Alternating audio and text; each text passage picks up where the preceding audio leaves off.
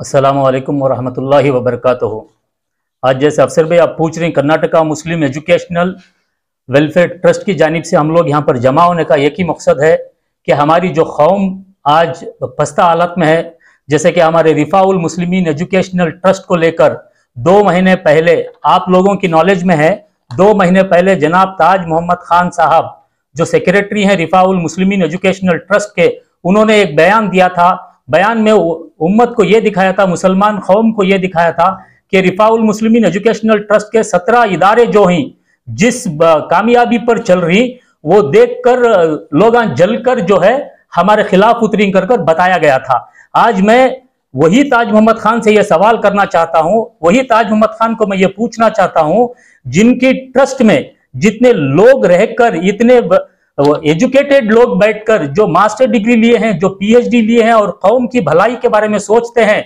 वैसे लोग बैठकर ये जो सत्रह इदारों को डुबोने का काम कर रहे हैं। आज मैं बहुत पूरी अवाम की तरफ़ से गुस्से का ज़ाहिर करना चाहता हूँ, जबकि उन्होंने दो महीने पहले यह कहा था कि हमने बिल्डिंगे बनाए हमने बहुत ही बच्चों को एजुकेशन दिया।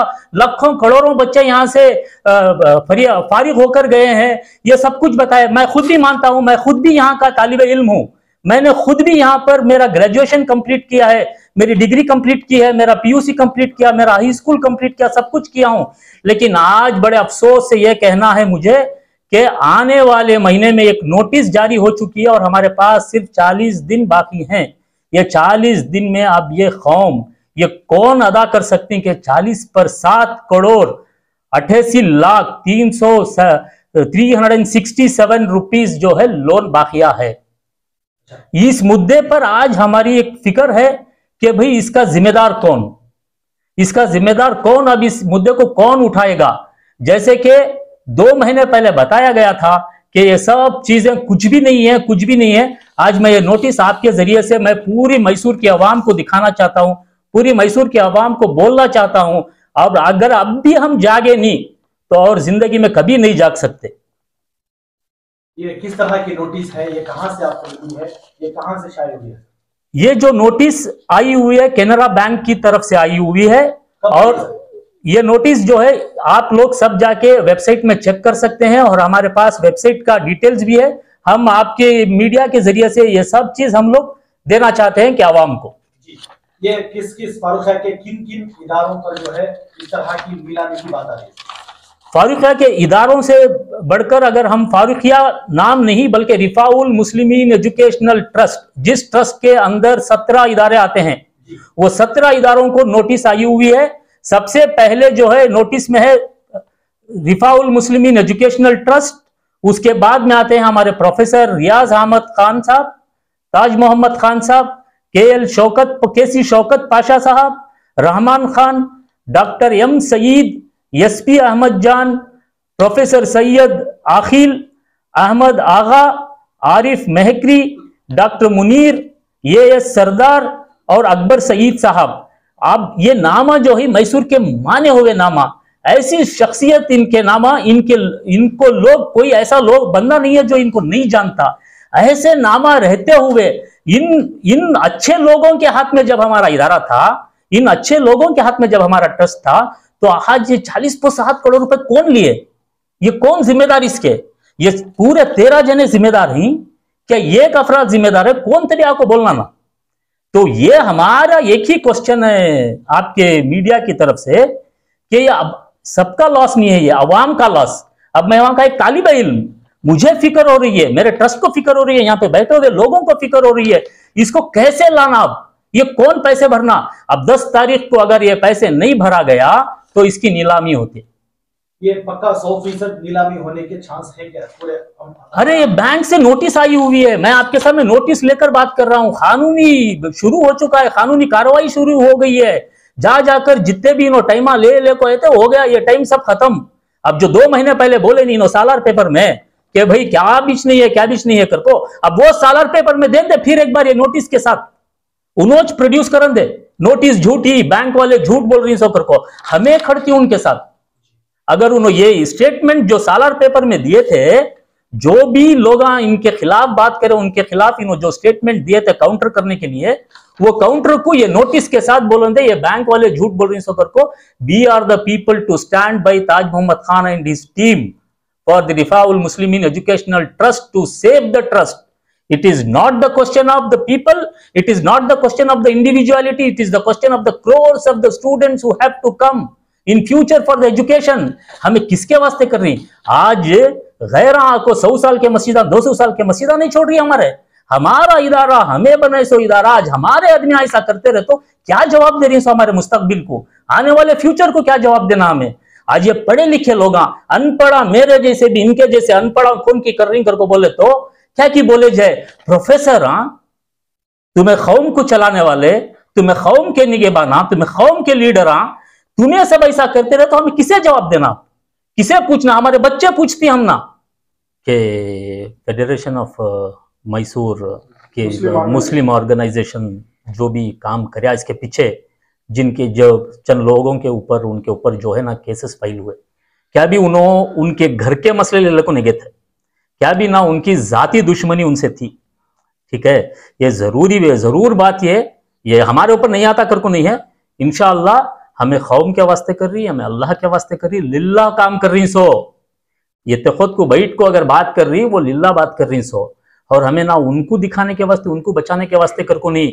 जितने भी लोग ये कमेटी में, रिफाउल मुस्लिम एजुकेशनल ट्रस्ट में, ये पूरे सीनियर सिटीजन इन्हों पूरे सीनियर सिटीजन हमारी एक पिचक मांग क्या मालूम अब जो स्टेटमेंट उन्होंने देखो ही, जैसे कि उन्होंने इंजेक्शन का ये कर को मंडी पुलिस स्टेशन में कंप्लेंट देखो या जो भी उन्होंने कर को ही नहीं, वो उन्होंने देखना और मेरी ऑनरेबल कोर्ट से रिक्वेस्ट क्या कर को बोले तो वो भी देखन दे, और ये जो नोटिस है ये नहीं उन्होंने जिस आवाज़ उठाए थे देखो, जो खर्जे के ऊपर जो आवाज़ उठे थे देखो, उसके वास्ते आवाज़ उठाए थे सो, ये देखे के बाद मंजे उम्मीद है ऑनरेबल कोर्ट से मुझे उम्मीद है यहाँ के लोकल स्टेशन से मुझे उम्मीद है उन्होंने देखे के बाद समझ जाती है कौन गलत, कौन सही कर को। हमें बोलने की ज़रूरत ही नहीं है अब। अब इसके बाद हमें क्या भी बोलने की भी ज़रूरत नहीं है। और हमारा रिक्वेस्ट क्या मालूम अब? हमारा किचक रिक्वेस्ट जो ट्रस्ट है नहीं, वो सुपर सीट होना। और ये जो ट्रस्ट है ये ट्रस्ट बाकायदा ये ट्रस्ट डिजोल्व होना।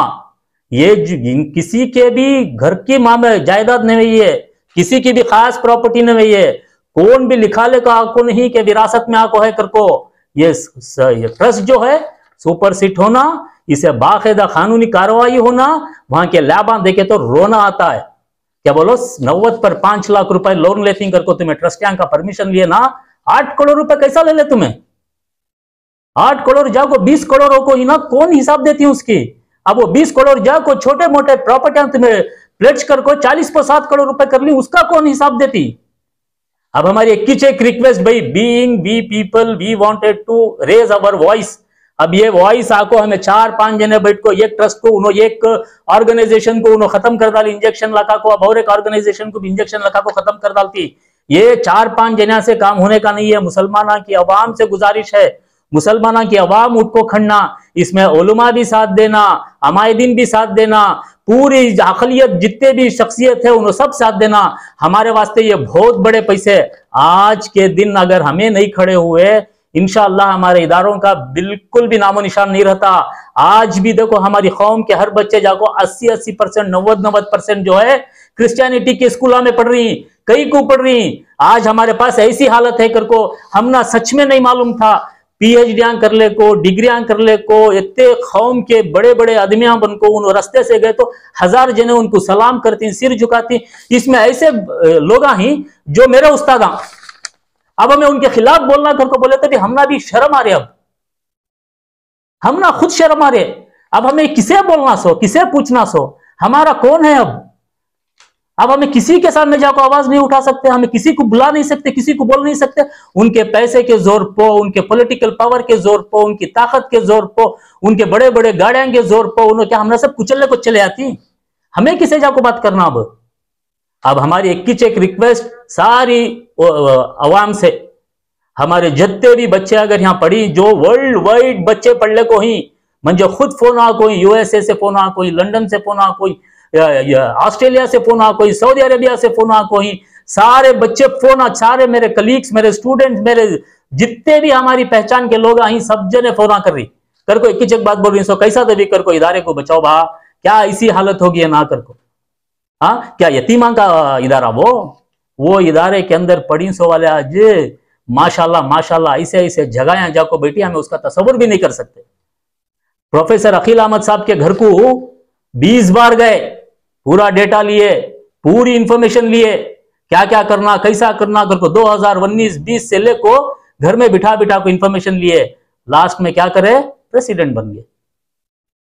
प्रेसिडेंट बन गए। प्रेसिडेंट हम ना बनने के टाइम को एक ही बात बोले थे कि मैं इसके वास्ते आवाज़ उठाता।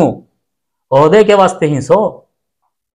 मेरी request because he is a well educated person he is a very big personality of Mysore today and he is the vice chancellor i am requesting him sir still we respect you please come forward help us we people in our community there is literature literation is very less we have to save our community we have to save our institutions 17 institution is a very big uh, property of muslims ये institution को आज नहीं बचा ये एक school का भी अगर ये होगा तो हमारे पास लाइसेंस मिलता नहीं आज हमारे पास सत्रह स्कूल ही जैसा हमारा जीशान भाई बना बताया आपको, गैर कौमा के जितने भी हमारे गैर भाई के इंस्टीट्यूशन चल रही, उनकी ईमानदारी की वजह से।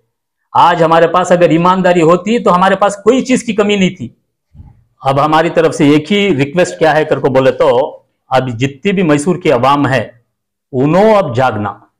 उन्हों जाग को, अब आगे बढ़कर हमारे साथ चले तो इनशाला ये मुद्दा क्या अभी बहुत बड़ी चीज़ नहीं है। अवाम से बढ़कर आज कौन भी नहीं। और ये अवाम की आस्ती है, अवाम की प्रॉपर्टी है, अवाम की जायदाद। अगर हमें हमारे घर में बचाने के वास्ते हमें क्या क्या तकलीफा उठाती, अगर वैसा चीज़ हमारा कर को समझ गए तो दस मिनट में ये चीज़ हमारे घर में रहती अब उससे मेरी एक ही रिक्वेस्ट है, अवाम से क्या करके बोले तो मैसूर की अवाम से, इसे हमारी ज़रूरत समझेंगे, हमारे यहाँ तकिया बिछोना बना को हम इसे ओढ़ेंगे तो इनशाला हमारे बच्चों का मुस्तबिल अच्छा होता है, हमारे बच्चों को का एजुकेशन मिलता है आने वाली नस्ल के वास्ते एक बहुत बड़ी आस्ती बच्चा को देखो जा सकती है हमें। घर बच्चा को देखो जाना क्या भी बड़ी बात नहीं है या खुद के बच्चा के वास्ते सब कर सकती लेकिन ये जो कौम की जो एक आस्ती है ये कौम की एक जो विरासत, जो कौम के बाद कौम के वास्ते करके चलने को आते वो बच्चा को दे सकती है हमें। इनशाला मेरी रिक्वेस्ट, सबसे भी एक ही रिक्वेस्ट चाहे वो पॉलिटिकल बैकग्राउंड रखने वाले हो, चाहे वो एजुकेशनल बैकग्राउंड रखने वाले हो, चाहे वो दीनी बैकग्राउंड रखने वाले हो, चाहे मामूली सी अवाम हो, जो आम अवाम हो, इन सबसे मेरा एक ही रिक्वेस्ट क्या कर को बोले तो ये मुद्दे को हर घर में रोज बात करते रहो। जब तक तुम्हें याद नहीं करते, तब तक तुम्हें मालूम नहीं होता कि रिफाउल मुस्लिम एजुकेशनल ट्रस्ट डुबले को चले जा रहे कर को उसे डूबने से बचाने के वास्ते तुम्हें भी, हमें सब मिल को खड़ना सब खाली कौन की चार जने कर ले रही पाँच जने कर ले रही किसी के हाथ से नहीं होता ये। ये मुद्दे को उठाना कर को बोले तो तुम्हारे घर में जैसा बच्चा नमाज़ को जाको आया, क्या स्कूल को जाको आया, क्या पूछती नहीं। वैसा तुम्हें घर में बड़े बैठ को बात करो कि क्या हुआ, ये आज क्या तभी हुआ, क्या इसका मसला हल हुआ, क्या करो तुम्हें डिस्कशन करो, रस्ते पर निकलो, तभी से काम होता है। सो ये मेरा सबसे रिक्वेस्ट और आप लोगों का भी बहुत बहुत शुक्रिया अदा करता हूँ मैं। आप आपका वक्त निकाल कर आकर हमारी बात सुने। ये हम सब की बात, ये ये जितना ज़्यादा हो सकता है, उतना लोगों को शेयर करो। जितने ज़्यादा लोगों को पहुँचा सकती है पहुंचाओ। आने वाले दिनों में इंशाला ये जुमा का खुतबा बनकर बयान में भी आएगा। तो इसे सब ज़रूरी समझो, सब मिलकर इंशाला आगे बढ़ने को, ये बचाने की कोशिश करेंगे वालेकुम वरहमतुल्लाहि वबरकातुहू। तो जिस तरह पिछली दफ़ा जब फारूकिया गर्ल्स हाई स्कूल पूरी तरह बंद कर दिया गया था उस वक्त जो है मैसूर में जो जिम्मेदार, जो तंजीम थी जिसे मैसूर मुस्लिम फेडरेशन कहा गया, उसके बाद जो है अब जाकर मसला आया है, उसमें नज़र नहीं आ रही। उसके बदल में जो है आप लोग सामने खड़कर आए हैं। इसका क्या मकसद है? वो क्या है? वो क्यों सामने नहीं आ रही? मैसूम मुस्लिम फेडरेशन वाले जब जाको ट्रस्ट आएँगे, घर को जाको, उनको एकजुट करने की कोशिश करे तो उनके ऊपर इंजेक्शन लेके आए इन लोग। आर्मिटी वाले। उनके ऊपर जाको कंप्लेंट हो गई जितने भी स्टेशन में दो तीन स्टेशन में कंप्लेंट हो गई तो उस वजह से उन्होंने भी वो बारे में बात नहीं करी, आगे बात करती हो, को मैं उम्मीद करता हूँ उसके बारे में, इंशाल्लाह। अगर वो लोग जो है मैसूर की फलाह बहबूदी के लिए, भलाई के लिए आगे बढ़ रही, उनके ऊपर इस तरह के इल्ज़ाम लगा डालती तो जो है किस तरह उम्मीद किया जा सकता है कि आप लोग जो है उसे हल कर सकते आपकी बात सुन सके मैसूर क्या हुआ नहीं वही इंजेक्शन लेके आ गए ना उसके बारे में क्या भी बात नहीं कर सकते फेडरेशन नहीं वोच कर रही सब।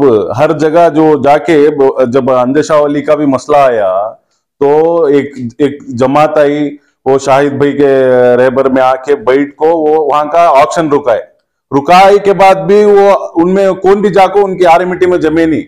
उनका इदारा उनको बचा को छोड़ को आ, आगे सो। वही सामने इदारा बचाने के लिए ही सो। ना मैं इंडिविजुअली ना कोई भी ट्रस्टी से हम ना कहती भी पर्सनली कहती भी उनसे ना दुश्मनी है ना दोस्ती है कुछ भी नहीं है। एक हमारा इदारा साठ पर दो साल का जो इदारा है कहाँ जाना था आप कहाँ है पीछे चले गए। जो उनके साथ स्टार्ट हुए आज वो मेडिकल कॉलेजेस तक पहुँच गई और पूरे डिग्री कॉलेजेस मैसूर में छह सात हैं। आरएमटी कहाँ है? उसके लिए जो एफएमओ वाले भी करे वोच करे सो उनको इंजेक्शन ऑर्डर लेकर को स्टेशन में कंप्लेंट देखो उनका मुँह बंद करने की कोशिश हो रही होता है। तो सर जिस तरह आप अभी कहा कि जो है जितने भी इदारे हैं उनको नोटिस आकर है। क्या इसमें बेलवत्ता की जो चार एकड़ ज़मीन है क्या उस पर भी नोटिस आई हुई है क्या बैंक की तरफ़ से?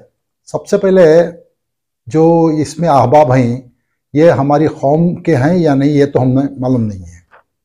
क्योंकि अगर आज के हालात के हिसाब से जो हम लोग, जो मुसलमान, खासकर मुस्लिम कौम, जो आज तकलीफ़ें सह रही हैं दूसरों के ऊपर, इसमें एक एडिशनल जो है हमारे ऊपर दुख प दुम्बल का हिसाब दिखाई दे रहा है।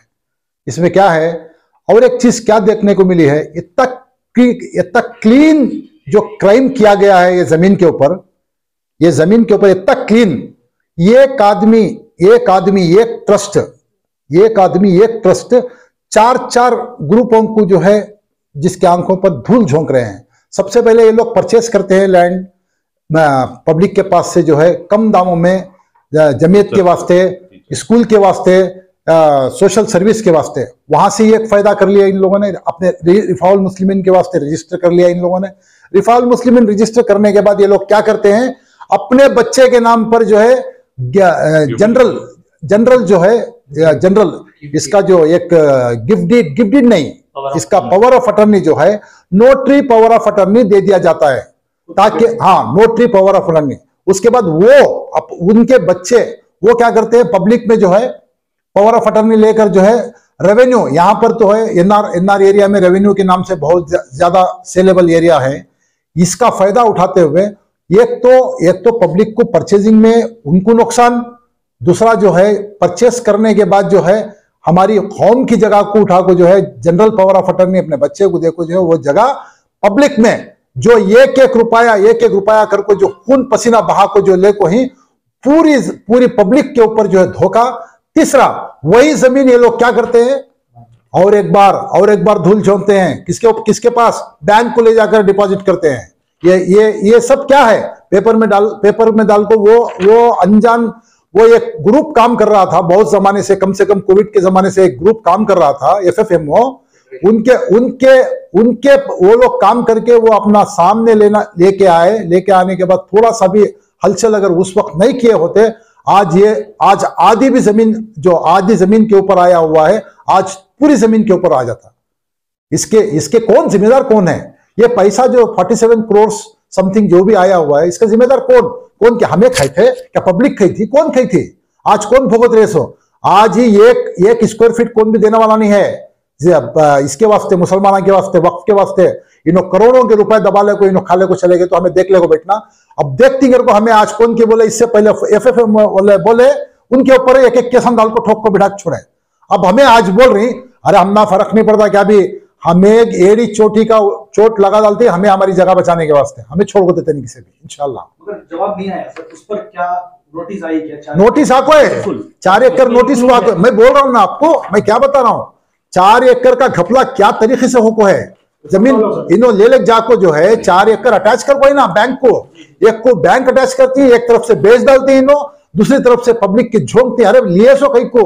हमारे स्टाफ को, मुसलमान के स्टाफ को घना बनने के वास्ते लिए पब्लिक को कम कीमत में जो है हमारे स्टाफ को, उसके जो और हाँ टीचर्स को, इनको, उनको जो है, उनकी सहूलत के वास्ते लिए सोए वो भी ले ले जा कोई अटका को छोड़ी इसमें। कौन कौन छुड़ाता है? आज नोटिस आपको है, देखो ये, उसमें है notice forty seven crore sir, जिस तरह आपने पाँचों मिलकर ये मुहिम शुरू की है, इसको जो है आगे किस तरह बरकरार रखेंगे कि लोगों के जहनों में रहे और इसकी फ़िक्र कैसा रहेगी, सर?